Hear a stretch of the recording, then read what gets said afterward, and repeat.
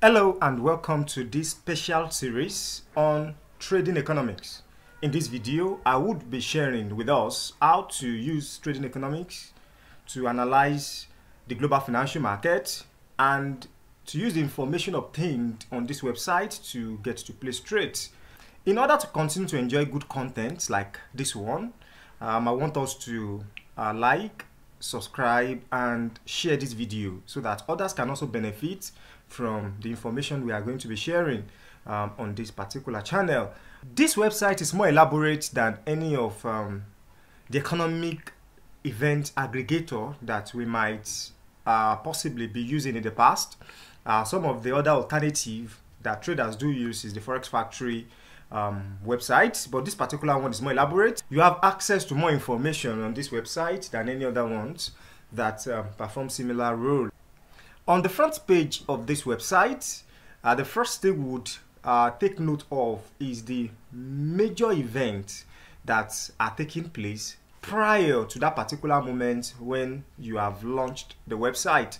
And um, yesterday, uh, a big data was released from the United States, and that is the caption on this website at this particular point in time. It said U.S. economy had small jobs than expected in September because the non-farm employment change uh, data was released from the United States yesterday and the data came out pretty pretty good. And that's why we're having it as an headline on this website at this point in time. So taking a look at the right hand side of the site you get to see different assets that you can trade and obtain information on. Uh, starting with the commodities you have, you have commodities we have forex that's talking about currency pairs you have the index you have the stocks, you have the bonds, and then we also have access to information um, on the cryptocurrency market. So here we have Bitcoin, Ether, Binance, Cardano, and the likes of them. So you have access to all of these assets on this website. I would be starting now with the calendar. How do you utilize calendar on the trading economics website? So now we would click on calendar this way. So the calendar on this website uh, just as I was saying earlier, it's more elaborate than the one you have access to on Forex Factory or on some other news aggregator that we might have been used to. So you can see here, uh, today happens to be Saturday, October 8, 2022. And on this day, some data uh, had been released from China. So you have this, and then the composite PMI and the services PMI released from China earlier in the day.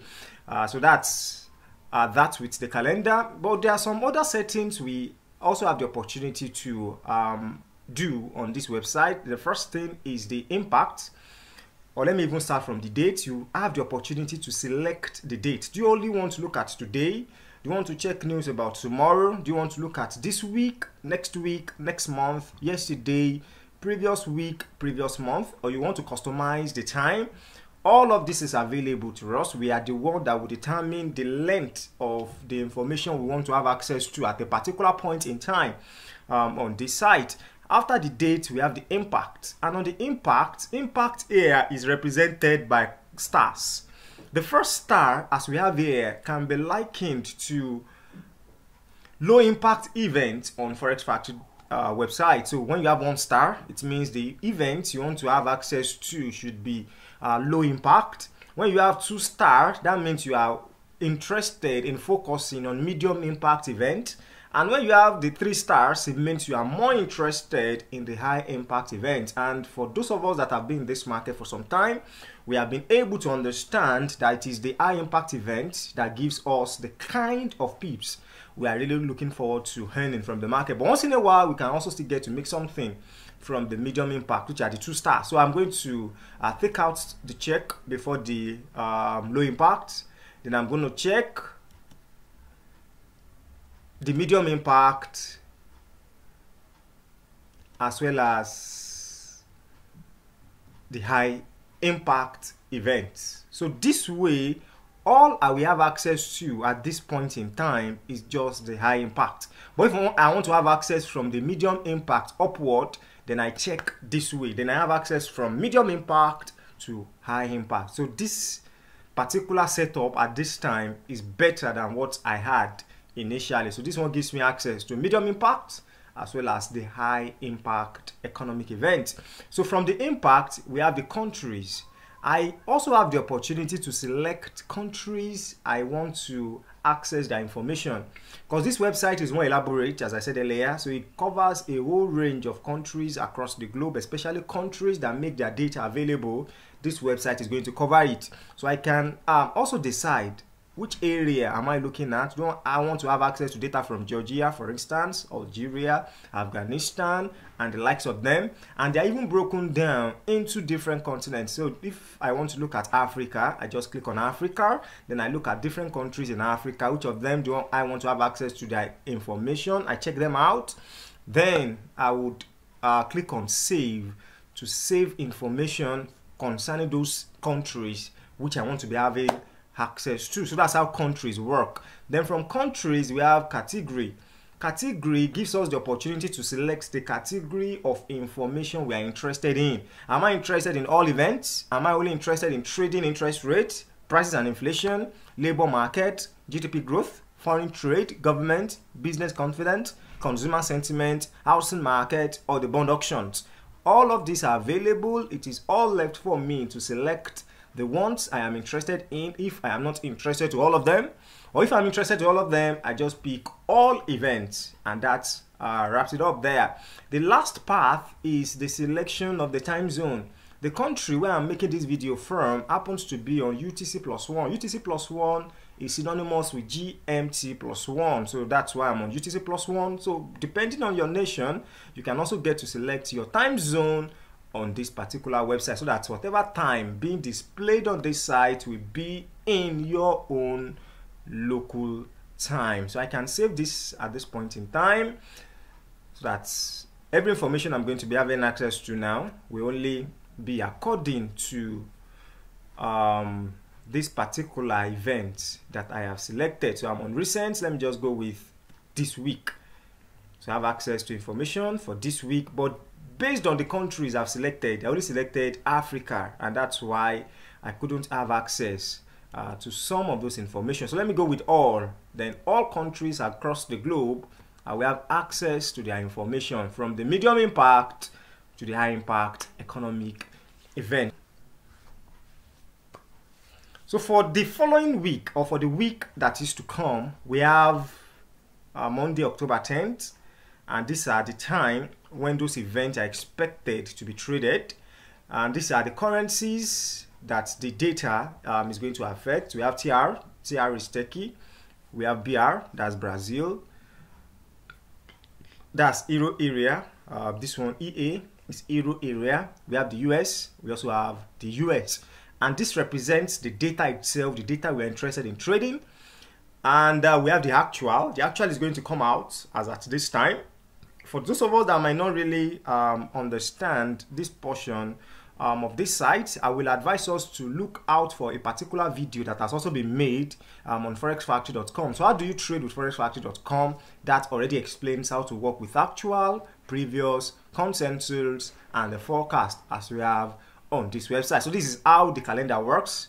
We have access to information across the globe. You interpret those information and then you utilize them to trade. For instance, if you are um, trading the Brazilian real, you will not have access to data from Brazil on forexfactory.com. But here we have on trading economics, this is a particular data from the Brazilian Central Bank um, to be released by 12.30 p.m. on Monday. I have access to it here. This gives me the opportunity to know, oh, this will be a good time for me to trade the Brazilian real, for instance, and the rest of um, other countries' information are also available on this website. So from calendar, the next thing I'm having here is the news. So I go to news and I have different major news across different economies. Yes, so the news. We have one from China. So China composite PMI sinks to four month low. So I get to see this. And if I am interested in that particular news, I can read more by just clicking on it this way. Then it gives me more information about the composite PMI, what will likely be the effect of that particular information, and the rest of them. Then the services sector also in China shrinks. This is already pointing to us that the Chinese economy is not really doing fine as much as they ought to because key data that will tell us the state of the economy is not uh, really pointing out uh, a good state of the economy based on this. The PMI, that's the Purchasing Manager Index, is sinking. The services sector is shrinking. Which other sector is really developing if uh, the purchasing managers are not really having confidence in the economy of um, China? Then the New Zealand dollar hit 30 month low. We've seen the greenback uh, really surging massively against currencies across the globe. So it's not a surprise that the New Zealand dollar is hitting um, a low, a 30 month low against the greenback because the greenback has been massively strengthened by the aggressive stance of the Federal Reserve and the rest of them. So you have a lot, a lot of news across currencies, commodities, and then the index covered where you come on the news segment of this website. So from the news, we have the market. The market is broken down into different assets, starting with the currencies. The currencies are the currency pairs. So you have access to information about currencies when you go to currencies. So let's see what the currencies is going to look like. Yeah, so we have the currencies, we have the current price of the currencies, we have uh, the day change in percentage, we have the weekly change on that particular currency pair, the monthly change in, on that particular currency pair, the year on year. So this year compared to the same level as at last year, and at what point in time was these figures obtained? So it's October 7th, uh, as we have it here. So we could see the greenback gaining massively against all of these currencies. Yeah, so percentage drop in all of them against the greenback. Whereas against the Japanese yen, we could see a surge because the Japanese yen happened to be the code to the USD. That's why it's a plus in this instance. And we have it as negative, meaning the dollar has been strengthened against all of these currencies, even including the Chinese yuan. And we will understand why the Chinese yuan uh, is also losing from the previous information we saw on the news. They told us uh, the purchasing manager index is dropping and the services sector in China is shrinking. So definitely the Chinese yuan is going to be weakened and we can definitely get to see that from the percentage that is displayed on this particular page. So that's currencies. So we can also do the same thing for the stocks. You see what the percentage either rise or drop in uh, the price levels of each of those index um, has been like. And the good thing of, about this website is the inclusion of different continents. So you have Europe, you have different index from the Eurozone or the Euro area. It also includes America, so you have US 30, US 500, um, and the likes of them. You have Asia. Uh, then we have Africa. Yes, you can see Africa. This is Nigerian Stock Exchange All Shares Index. That's um, the index that measures uh, the relative strength of stocks li listed on the Nigerian Exchange Group. So you have SA40, SA Hall, Egyptian 30, and the likes of them. You trade or you are interested in investing in Africa, you can have access to information about the stock market in Africa also from this particular website. So that's the market and that's the stock portion. So we have commodities the same way so we have different commodities. This crude oil is um, the US oil. That's um, that is um, WTI. We have Brent, natural gas, gasoline, and the likes of them under commodities.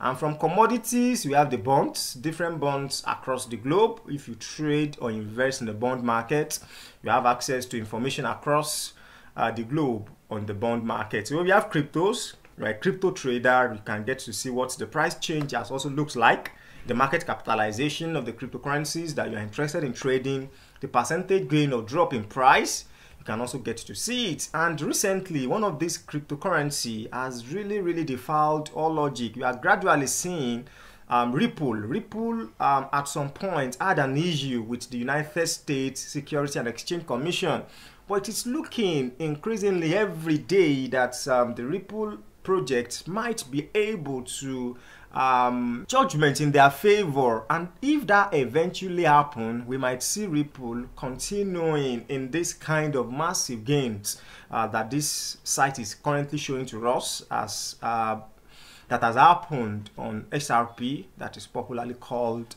um, Ripple. So that's the crypto market. So you also go to earnings, you trade the stocks or you trade index. You can also pay attention to different stocks across the globe when are they going to make available their earnings reports? What is the consensus going to look like? And are those companies able to meet up with the expectations? Whenever they do you should be expecting uh, a bullish move on those stocks at that particular time. So you can pay attention to earnings from different com companies across the globe also on this website. So from the earnings you also have holidays. Do you want to know when a particular country will be on holiday get to see it also on this website. So holidays across the globe which day what's the name of the holiday you see it on the website. That, so that's it on market. So from market we move to indicators. Indicators are pointer to the state of the economy. Indicators make us to know if the economy is strong or is not doing so fine so you have indicators like the inflation rate. We do not even need to check that because at this point, inflation rate across the globe is soaring higher. So we already know that that's an established fact. But we also have some other indicators like interest rates. Central banks have been trying across the globe to arrest inflation rates by hiking rates. Yeah, they have been hiking interest rates in order to arrest the rise or the growth in inflation. We have unemployment rate, we have GDP growth, GDP per capita, GDP value, current accounts, credit ratings of different countries. Are they credit worthy or not? Wage growth, gold reserves. Are they holding um, gold as a reserve? Government debt. What was the size of the debt of the government? Crude oil production if they are an oil producing country. Gasoline prices across the world. Then its map table of those countries. So you can analyze a particular economy by paying attention to these indicators that tell us, oh, this nation is not doing fine. This nation seems to be doing extremely well at this point in time, and countries.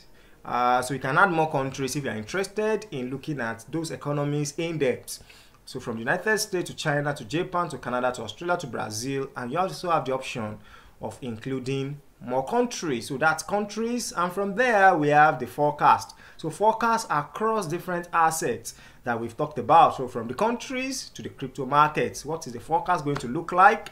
You have access to all of that um, when you check the forecast. So I believe it's been an enlightening moment being a part of um, this particular edition of this um, series on this channel. So I look forward to having us very, very soon for another enlightening um, video that is going to be released. So it's a good time for us to like this video, subscribe, and then share this particular video. So I look forward to having us pretty, pretty soon. Thank you, thank you, and thank you.